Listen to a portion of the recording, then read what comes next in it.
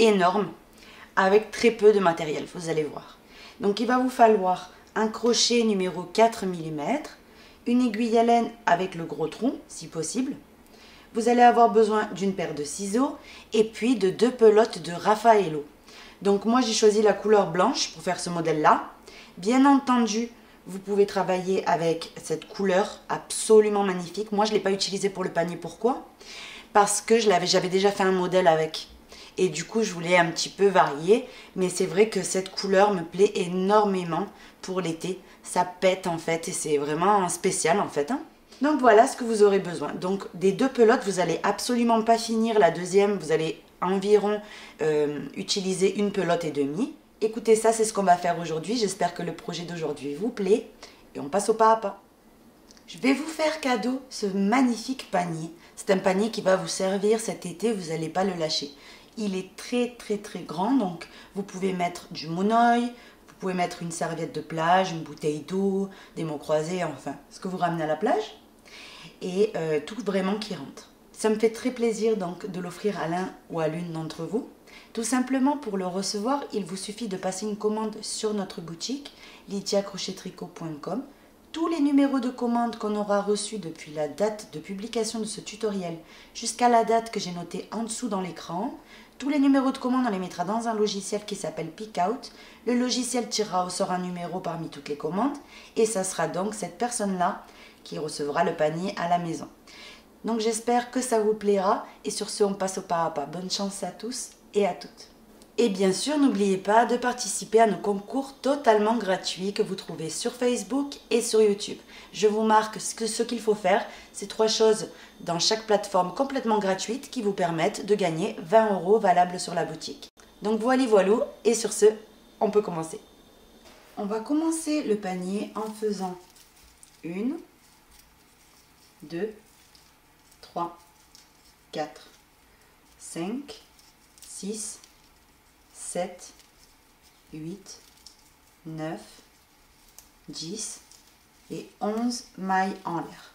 Ça, ça va être le fond. Maintenant, on compte depuis le crochet. 1, 2. Dans la deuxième maille ici, on pique et on vient faire maille serrée. Dans la suivante, on pique, on ramène, maille serrée. Donc surtout, ne serrez pas trop en fait. Quand vous piquez, vous ramenez, faites-le souplement.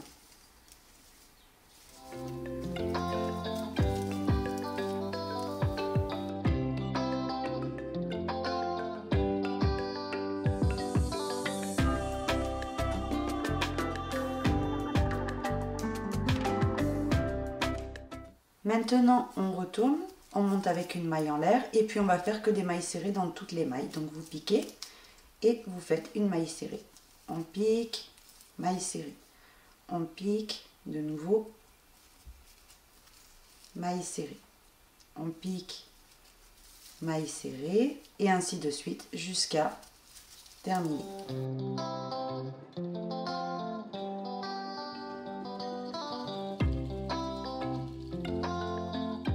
Maintenant, on retourne, une maille en l'air et c'est reparti. Donc la première, la deuxième,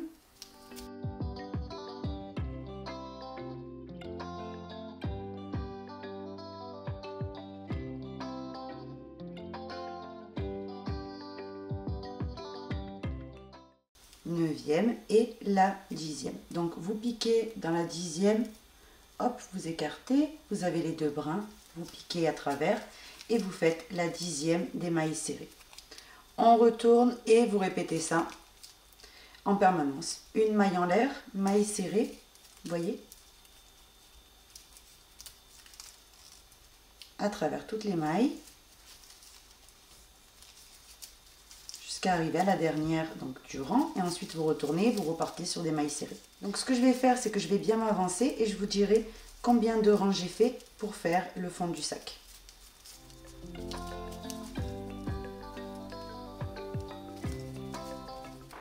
J'ai terminé, donc au total, j'ai fait 2, 4, 6, 8, 10, 16, 18, 20, 26, 28, 30, 34 rangs. Une fois que c'est bon, vous les avez, vous coupez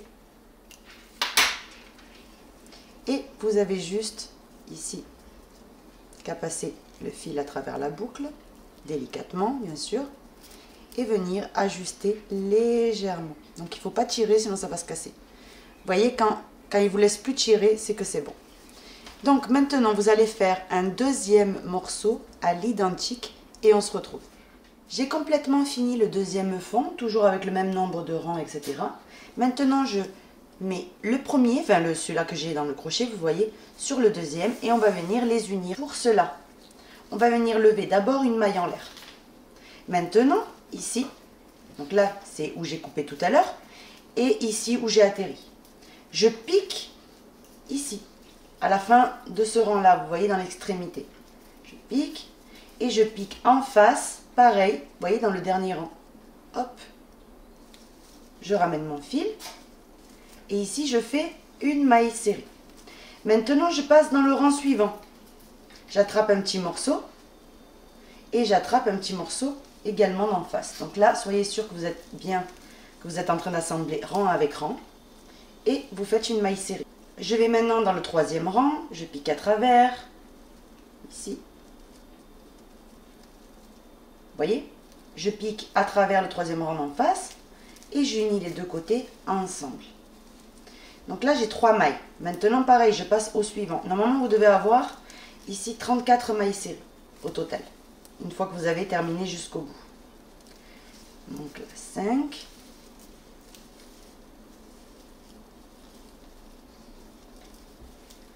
5, 6,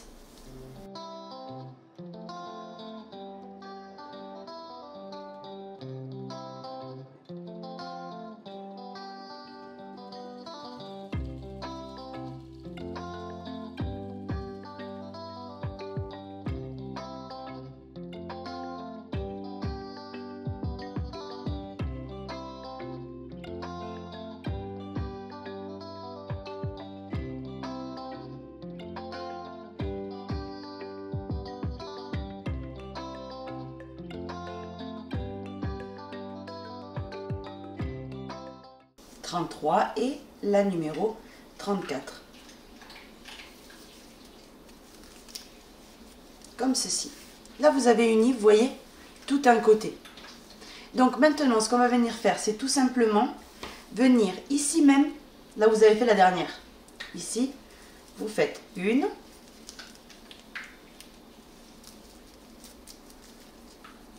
deux mailles serrées supplémentaires. Et maintenant, on repart ici, on va travailler sur les mailles serrées qu'il y avait déjà. Donc on prend la première ici et la première de l'autre côté et on les unit par une maille serrée. On prend la deuxième avec la deuxième d'en face, maille serrée. La troisième avec la troisième et on les unit par une maille serrée quatrième avec quatrième, cinquième avec cinquième, sixième avec sixième, septième avec septième, huitième avec huitième, neuvième avec neuvième et la dixième. Donc vraiment dans l'extrémité. Maintenant, là où j'ai fait ma dixième, pareil que de ce côté-là, vous allez faire deux autres mailles serrées au même endroit. Donc, on en fait une. Et au même endroit, on refait une deuxième maille serrée. Du coup, on a fait l'angle.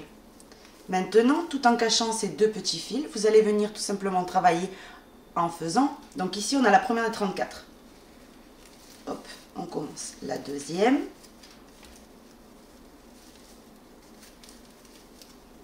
Troisième, la quatrième,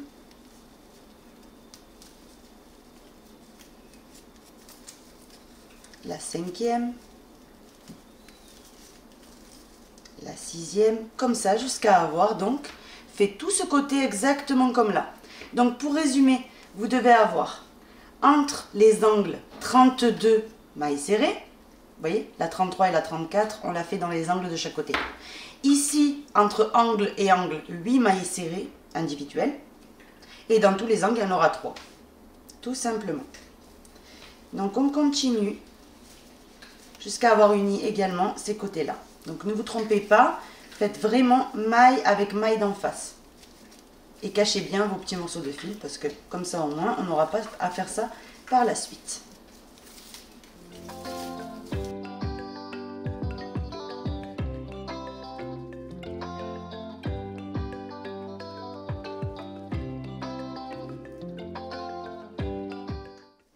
Je suis sur le point de terminer, donc maintenant vous piquez ici, dans la première des mailles serrées qu'on a en haut, la première, et vous piquez dans la première d'en face. Vous ramenez votre fil et vous faites une maille serrée, une deuxième, ici, hop, et au même endroit toujours, une troisième. Et maintenant, on travaille en maille serrée individuelle en unissant les autres mailles serrées tout simplement.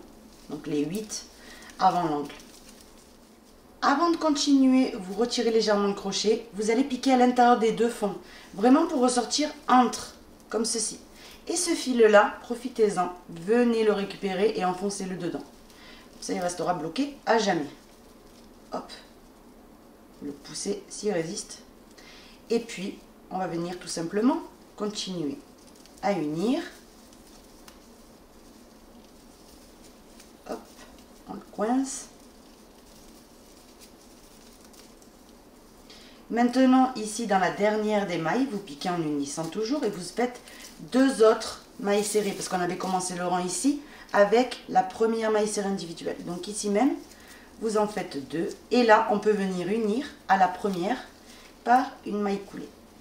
Là, vous voyez, j'ai complètement uni le fond. Donc là, il est vraiment voyez, bien uni. Vous pourrez mettre plein de poids, enfin voilà. Donc ça reste quand même du papier, donc pour m'assurer que c'est bien robuste, je préfère faire deux couches que j'assemble. Donc maintenant, là oui, on peut commencer à travailler le point normal. Donc pour cela, vous reprenez la boucle, vous faites une maille en l'air. Et en fait, on va venir d'abord faire un rang entier de mailles serrées par-dessus celle-ci. Et on va pas faire donc ici travailler par derrière ou quoi que ce soit, on va travailler uniquement en mailles serrées. Donc vous piquez dans la première, maille serrée. Vous piquez dans la deuxième, maille serrée. Dans la troisième, maille serrée. Dans la quatrième, maille serrée. Cinquième, maille serrée. Suivante, maille serrée. Et vous faites que des mailles serrées individuelles jusqu'à terminer donc tout votre rang. Je suis sur le point de terminer en uni à la première maille serrée du rang en faisant une maille coulée après votre dernière maille serrée. On va commencer maintenant le premier rang du point en faisant une maille en l'air et ici même une maille serrée. Donc dans la première maille, vous faites votre première maille serrée. Maintenant, on va venir sauter une maille et dans la suivante, vous faites un groupe de trois brides. Donc une,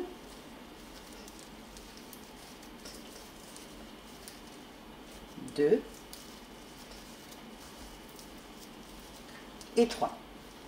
Vous venez maintenant, vous plaquer, ici on saute une maille, dans la suivante, vous vous plaquez avec une maille serrée. Comme ceci. Vous n'hésitez pas à détendre hein, avec votre main, vous voyez Et on va répéter ça, écoutez, jusqu'à terminer. Donc, on saute une maille, dans la suivante, trois brides. Une, 2 et 3, comme ceci.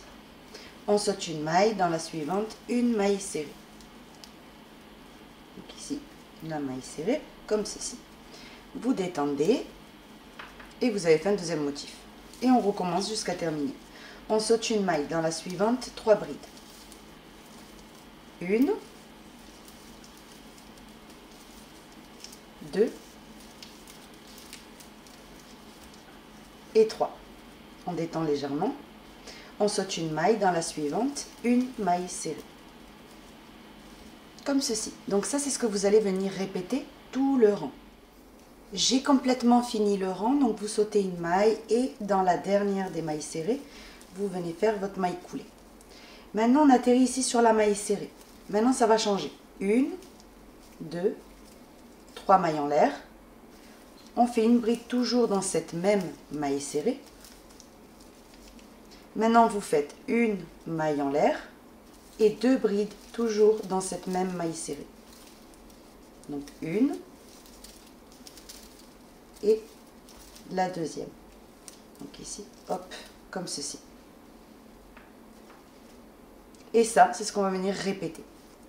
Mais entre petit éventail et petit éventail, on va venir se plaquer sur la deuxième bride des trois qu'on était venu faire tout à l'heure.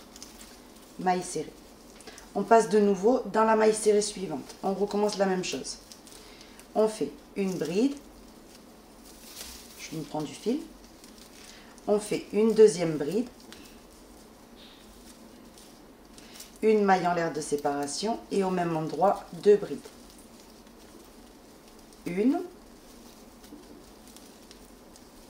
et deux. On vient sur la deuxième des trois brides et on fait une maille serrée.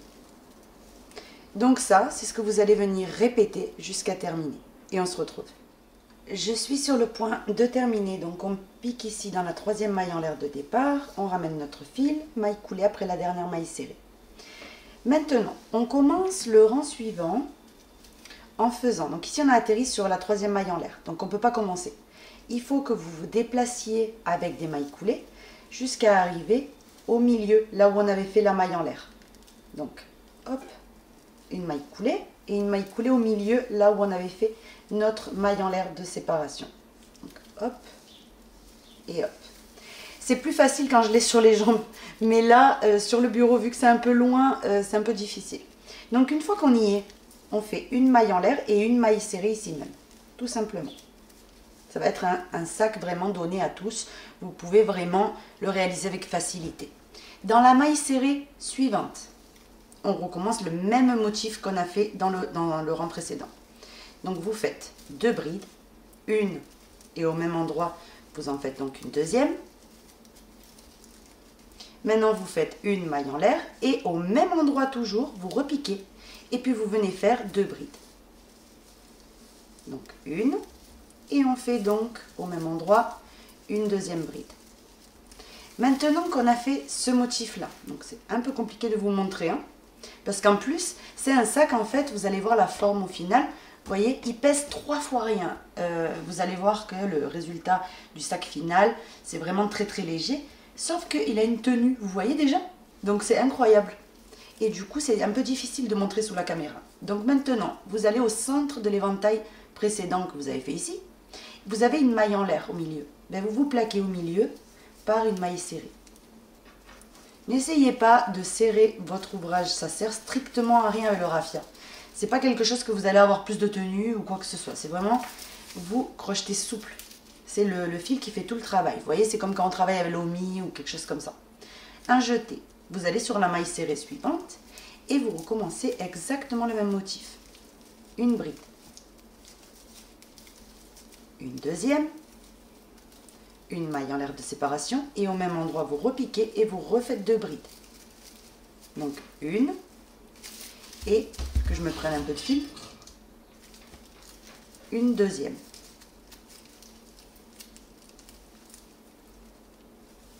Maintenant qu'on a fait ce motif, vous allez au milieu de l'éventail précédent et vous faites votre maille serrée pour vous plaquer. Voyez? Donc ça, c'est ce que vous allez venir répéter jusqu'à terminer le rang. J'ai terminé tout le tour, donc on unit à la première maille serrée, après avoir fait le dernier éventail, par une maille coulée. Maintenant, on atterrit ici sur la maille serrée. Donc, vous avez juste qu'une chose à faire, c'est répéter le rang 2 et le rang 3. Tout simplement. Donc là, on fait une, deux, trois mailles en l'air. Au même endroit, une deuxième bride. On fait une maille en l'air et au même endroit, deux autres brides une et deux. Maintenant, on se plaque par une maille serrée au milieu de l'éventail précédent, au milieu où on avait fait la maille en l'air, vous faites votre maille serrée. Donc vous continuez ainsi, quand vous aurez terminé celui-là, vous allez voir que vous allez atterrir ici. Dans les trois mailles en l'air, vous faites vos deux mailles coulées et vous commencez par votre maille serrée. Donc vous avez jusqu'à répéter ça jusqu'à terminer et on se retrouve. J'ai terminé de travailler donc la hauteur que je souhaitais ici du sac avant de faire la partie d'en haut. Donc tout simplement, je vais venir me mesurer déjà l'énormité de sac parfait pour mettre les serviettes et tout. Donc on est sur 52 cm si vraiment je mets la moitié d'un côté à la moitié de l'autre. Maintenant, de hauteur totale ici, j'ai crocheté. Donc, c'est difficile parce que là, il est relevé. Donc, je vais le mettre comme ça. Et je vais mesurer. 34 cm et demi. On va commencer la hanse par ici crocheter cette partie-là. On va en faire deux identiques qu'ensuite on va coudre l'une à l'autre pour pouvoir, vous voyez ici j'en ai une, donc j'ai l'autre hanse qui n'est pas cousue, vous voyez donc je l'ai assemblé ici au niveau de là, mais je ne l'ai pas encore cousu au sac. Donc c'était juste pour vous montrer ce que ça va donner. Donc on commence en faisant 6 mailles en l'air. Une, deux, trois, quatre, cinq et six. Maintenant, on vient piquer dans la première de ces six. On ramène le fil, et on fait une maille coulée. Maintenant, ce qu'on va venir faire, c'est travailler à l'intérieur de ce petit anneau qui s'est formé. Donc, une maille en l'air. Ici même, on commence à travailler 16 mailles serrées. Donc, on a la première, on fait la deuxième, troisième, quatrième, cinquième,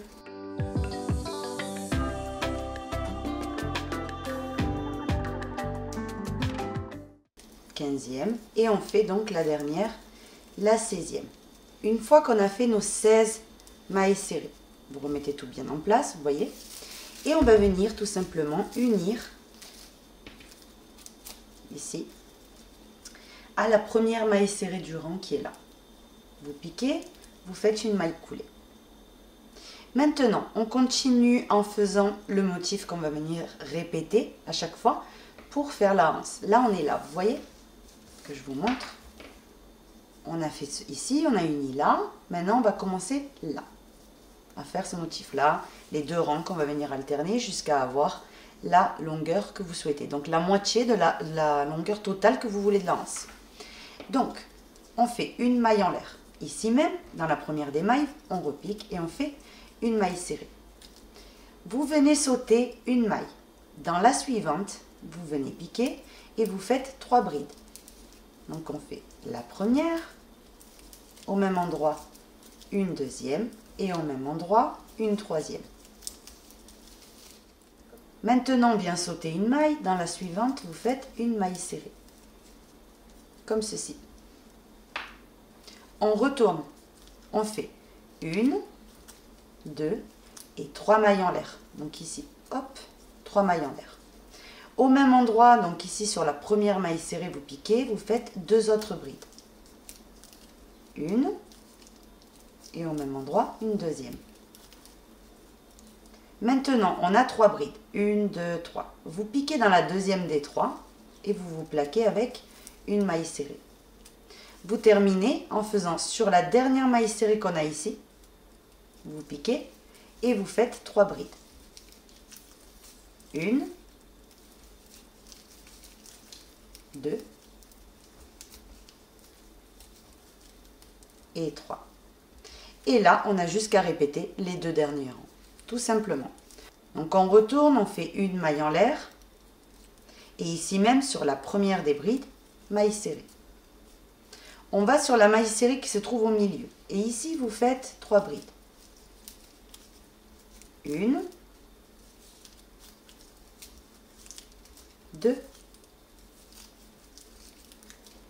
3.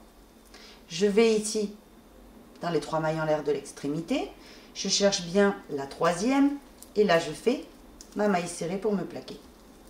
De nouveau, on retourne et on répète le rang numéro 2.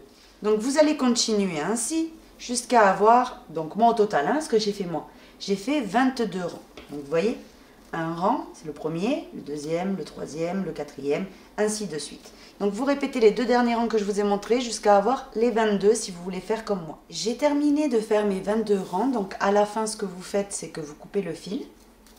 Vous faites une maille en l'air et la maille en l'air, au lieu de tirer euh, comme on ferait avec de la corde ou quoi, vous faites des petits à-coups comme ça, ça suffit. Vous voyez? Donc maintenant, on passe ce fil-là que vous avez coupé bien long, on va venir le passer à travers l'aiguille. Et on va venir coudre tout simplement ce côté-là avec ce côté-là. Donc vous allez venir prendre un morceau d'en face, un morceau d'ici. Donc je préfère passer deux fois au même endroit.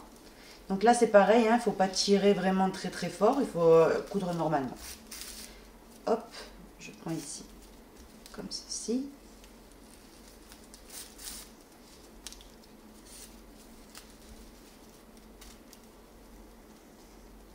Je vais venir continuer d'assembler maille avec maille.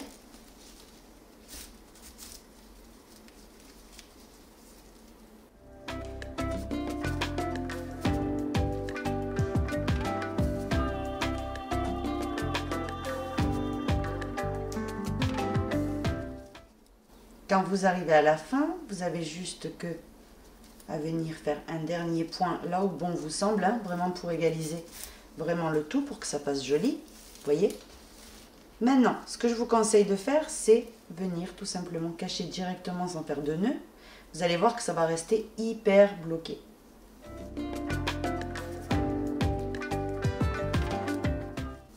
Et maintenant, vous repassez dans l'autre sens le fil. Et là, je vous garantis que ça va jamais bouger. Maintenant, on coupe.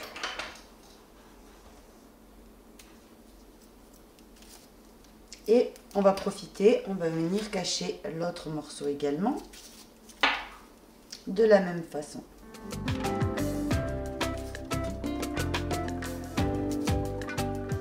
Moi j'aime bien quand je cache le fil faire plusieurs allers-retours en fait. Comme ça je suis sûre que ça s'est vraiment bien euh, perdu le fil en fait. Hein.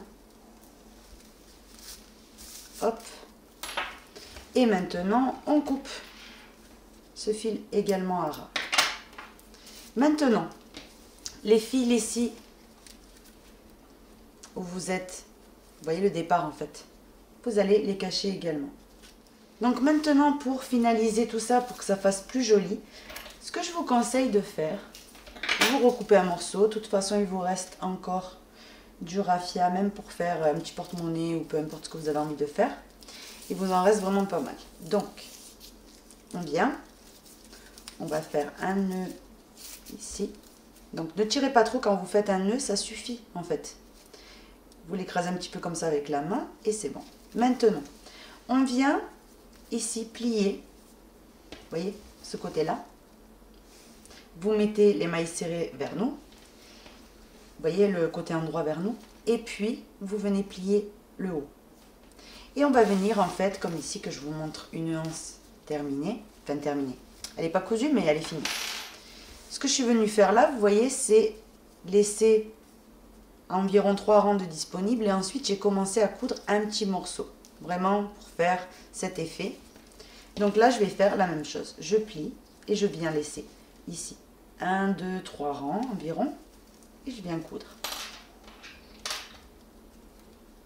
Donc vous prenez un morceau de chaque côté et vous commencez à assembler.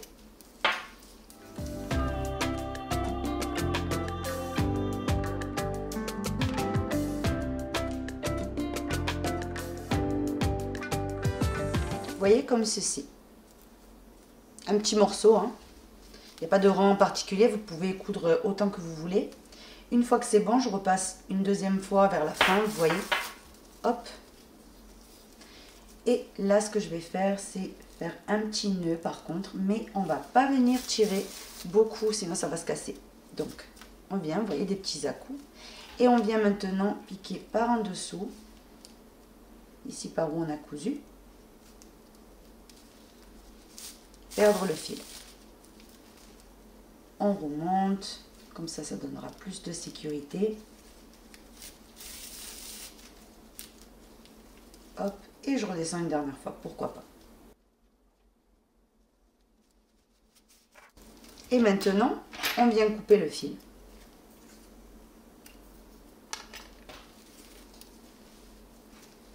Ici, voyez le fil qui est dedans, vous pouvez venir également le perdre. Vous allez faire des zigzags pour entrer un petit peu de partout. Maintenant qu'on a terminé ici de cacher tous les fils, on vient faire exactement la même chose, mais de ce côté-là. Donc vous pliez, vous laissez environ 3 rangs de disponibles, vous faites votre couture à l'extérieur, et quand on aura donc les deux anses de terminer, on se retrouve. Donc veillez bien ici, vous voyez la trajectoire soit parfaite avant d'unir. Hein. Que vous ne vous trompez pas, vous voyez, vous cousez qu'en fait, ici ça soit à l'envers. Il faut vraiment que ça soit au même sens que la deuxième.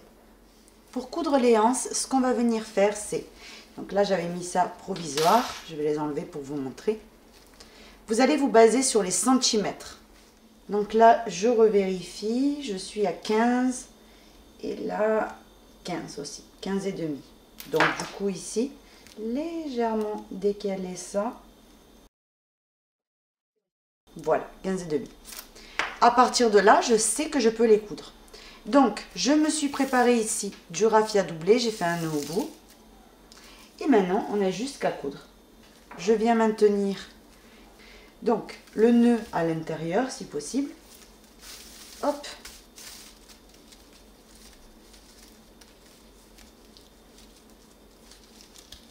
comme ceci. Et maintenant, j'ai juste qu'à passer à travers les points ici de ma anse et venir coudre. Vous tirez doucement pour pas que ça se casse. Hop. Et je vais venir coudre de cette façon. Quelques points ici en bas. Donc ça avec du temps, hein. ne vous pressez pas ça va abîmer votre sac autrement. Une fois que vous avez cousu, vous voyez, ça je vais m'enlever le, ce que j'avais mis provisoire.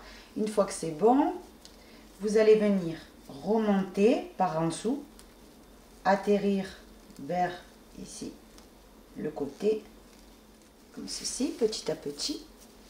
On vient piquer de nouveau, on ressort à l'intérieur, vous venez ressortir ici, un petit peu plus loin. Donc en veillant bien que cette boucle, vous voyez, reste bien jolie, hein, bien symétrique. Et vous venez coudre un petit peu également de ce côté-là pour donner un peu plus de sécurité. Maintenant, je peux repiquer tranquillement, remonter. Donc là, il faut juste passer entre le sac et la hanse. Hein. Petit à petit, hop, on remonte. Et quand vous arrivez là, regardez. Ici, hop, petit peu à petit peu. Quand vous arrivez ici, vous allez donner un point de chaque côté dans le côté aplati, vous voyez, du sac? La partie qu'on avait laissé les trois rangs disponibles. Vous donnez un petit coup pour vraiment assurer ici la hanse. Une fois que vous avez fait ce côté, vous passez à travers votre ouvrage, vous repiquez, vous ressortez ici et vous allez faire exactement la même chose mais de ce côté. Donc vous allez coudre un petit peu. Vous voyez un petit morceau du sac.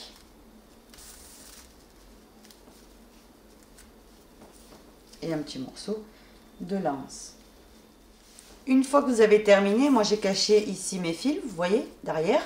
Donc vous allez faire exactement la même chose ici. Rappelez-vous où on avait mis le provisoire. Vous pouvez remesurer hein, pour être sûr c'est bon. Et puis, vous allez coudre là, le deuxième côté, exactement la même hauteur, etc. Quand ça sera bon, vous retournez le sac et en face de cela, vous mettez les deuxièmes. Et on se retrouve. Voilà le panier une fois les fils cachés, etc.